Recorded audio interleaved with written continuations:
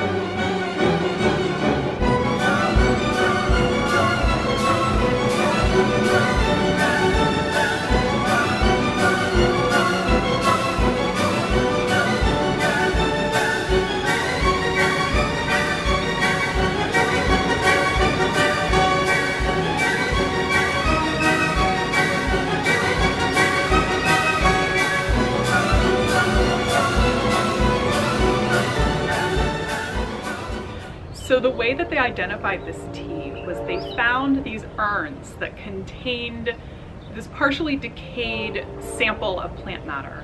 And they were able to take samples from that material and do chromatography on it. And from that they were able to dis uh, discern signals for the compounds caffeine and theanine. And these compounds are very specific to tea in this combination think they said there was one other plant that is related to tea. It's in the same family, but it doesn't usually have the same ratios of caffeine to theanine that they found in this sample. So they could be reasonably certain that this sample they found actually came from tea. And when they pulled out actually very well preserved, partially intact pieces of leaves from the sample, they could actually compare it to modern tea leaves and even hypothesize that this was a tea that was made of a high proportion of buds. So this was likely a very fresh, young green tea with a high proportion of buds. And the other thing that they found in this sample were signals from other plant matter. So they found uh, residue of tea, barley, and other plant material.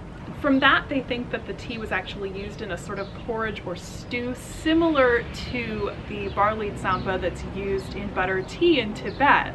So I decided to try to recreate a sort of tea flavored barley stew according to this paper and it did say that there were other plant matter found in the sample. And because of that I went back to Lu Yu and looked at where he talked about tea being boiled with tangerine peel, with green onions, with ginger, and of course even Lu Yu himself allowed for the use of salt in his tea. So I've created this barley and tea stew using a very fresh uh, spring green tea from China, some barley, some orange peel, ginger, and green onions from my garden. And I boiled this until the barley started to swell and split.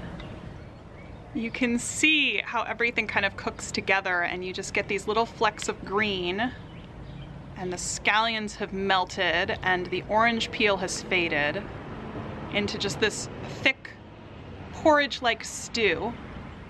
So let's give it a taste. Mm. I used plenty of salt. Mmm. Yeah. You get this like little bitterness from the tea and it blends really nicely with the orange peel. But it's very intensely savory. You get that little bit of spiciness from the ginger. This is a really interesting combination. Yeah, there's the ginger. I don't know that I would want to eat a whole bowl of this, but this is an interesting experiment to try tea as it would have been consumed possibly by the Emperor Jing of Han over 2,000 years ago as determined by archaeologists. So I hope you enjoyed this historical tea session and I hope you'll join me again sometime. Thank you. Bye.